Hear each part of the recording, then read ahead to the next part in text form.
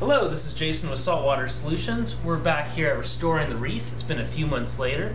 And what the client's done is he upgraded his water system uh, to get zero TDS water, uh, doing frequent water changes. And also, he switched to the Kent Marine Salt, and uh, that's been having good results here. And he's also been using the Kent Purple Tech, and that's really boosted his purple growth. And things are looking really good in here, and um, a big difference from a few months ago.